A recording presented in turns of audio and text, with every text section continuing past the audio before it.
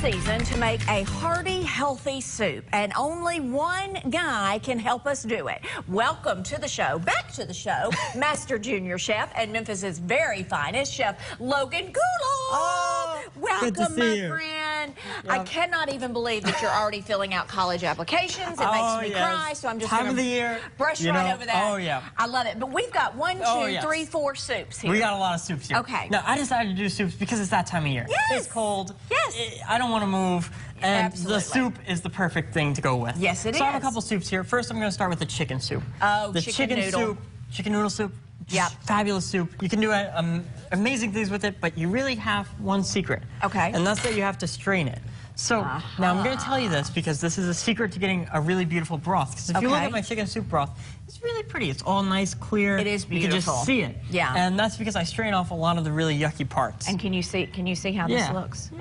Uh, so There we go. Let's see. You You got can it. kinda see how Yeah. so you can Yeah, see how there's just the fat and Yeah. just the chicken. It's just Yep. really clear. Okay. As opposed to other ones that can get really cloudy. Alrighty. Now my second soup here. This is my Japanese yam. Now uh, I know I know it's it's kind of Japanese yam. Japanese yam. Now I chose the Japanese yam because it has a really sweet flavor. Okay. And the sweet flavor and the starchiness just really complement each other well for a nice, Okay, and just kind of dessert now, soup. while you're doing that, uh, right. this is the Japanese yam, That's by the the, Japanese way. yam, okay, yeah. so if you see it in the store, it kind of looks a little bit like a sweet potato, but it's Kinda. a little more purple, sort of.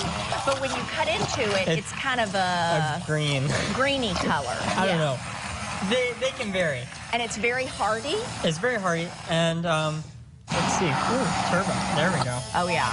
Now, what I have going on here is an immersion blender. This is great for your stovetop soups. Oh, perfect. Because you can see, you can get in there, you can get all the power. Ooh, I love that. Yeah, you can see. And Golly, it smells good. there we go. Wow. You can see it's a little bit thick, but we're going to thin it with a little bit of nut milk. Now, nut milk's really good. I'm using the nut, Nut milk. milk, Nut okay. milk. So I'm using this oat milk, unsweetened, Okay. because this is a savory soup. Yep. And I'm using this because it's going to add more flavor, more layers of flavor. Very Anytime good. you think of what can I do with flavor, you have to think about, you know, just kind of where can I add it, and I'm going to Yeah. add it with some milk. Because, you know, most of the time you just use a normal milk to make it creamier, to make it more delicious. But this nut this milk nut will milk enrich. will really add and enrich the flavor Yeah. of it.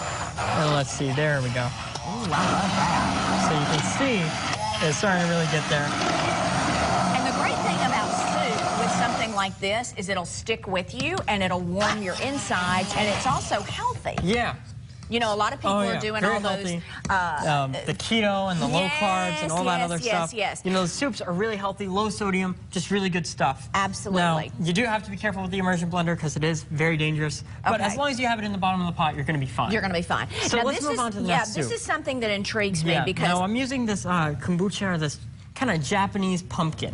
Okay. Now, I'm using this because um, it's really pretty. It's kind Yeah, of it is. interesting. Okay. And uh, now you told me that you had a lot of issue with squashes. Well, because I can't ever cook them. I put them in the oven for like, it seems like 12 years. You know, I'm a little Yeah, sarcastic. I- I know. But it just never seems to get done. So you had some so tips I actually have me. a tip for you, is that you Alrighty. actually microwave them for eight minutes beforehand. Okay. And you're going to add in some nut milk to the blender. Microwave it and poke holes Poke in holes it, in it, Mom. because Mom it'll- is it'll back just in the back saying poke holes, yeah, poke holes. poke holes. Poke Yeah. Holes, And then okay. microwave for eight minutes, and then roast it off for the 20 for the flavor. Okay. Now, this is kind of just kind of how I found that it works the best. Now, let's see. Okay. All right, Miss Amy, we're going to work the Vitamix. Oh, yeah. Now, You, you do that. You do that because I don't want to make anything mad.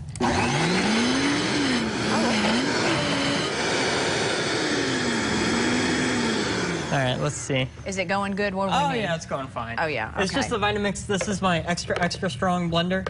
So, oh, Golly, that looks delicious, Oh, yeah. though. One of the things we're gonna add a little, a little A bit little more. more milk. Okay. A little bit more milk. So should you just add until it's soupy Add or until what? you want your desired texture. Okay, So it depends deal. on if you want it really firm or you want it more loose. Okay. Really depends on how you're feeling it. All right. So the, this is the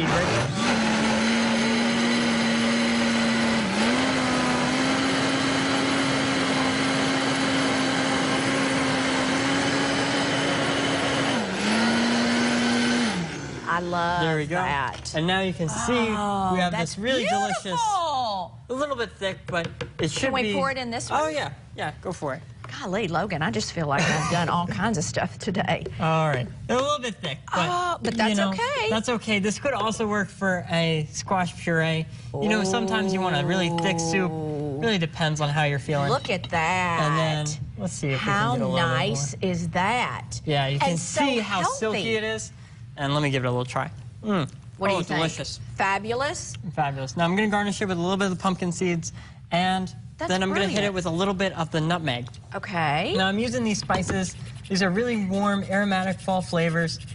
oh my see. gosh, if you could smell that, that's delicious. There we go. And a little bit of sugar on the top, just because our squash came out a little bit more savory. Okay. You know, you're really looking for a balance of flavors with soup. Yeah. You see, you always Oh my want to gosh, have that another smells spoonful. so good. I love it. I Yeah, love just- it. That is So fabulous. You really want to go for the balance of flavors. Like Okay. with the chicken soup, it's very balanced. Yes. You always want to take another bite. With this soup right here, which is kind of a little, little funky No, but looking. it looks but- great though. Mm. See? Mm. You've got that perfect balance. Mm. And the great thing about Chef Logan is he's got a book that he lists a lot of these recipes, but you can talk back and forth Oh, to yeah. him. He's Yeah. on Twitter, he's on Instagram, Yeah, he's got a you website. know, if you have any issues or Yeah. if you know you want to change your color, like you could always add in a purple sweet potato to your Japanese Which would be great. Which could increase the, the texture and the Yeah. the color, but I mean I couldn't find one. I love it. It's okay. But you know, The best thing is he cooks with what he has, Yeah. so he can help you cook with what you have. He is fabulous. Chef Logan Guleff, thank you so Thank much, Thank you my so friend. much. Happy New Year. Facebook, Twitter, Instagram. Get his book, follow him. His website is loganguleff.com.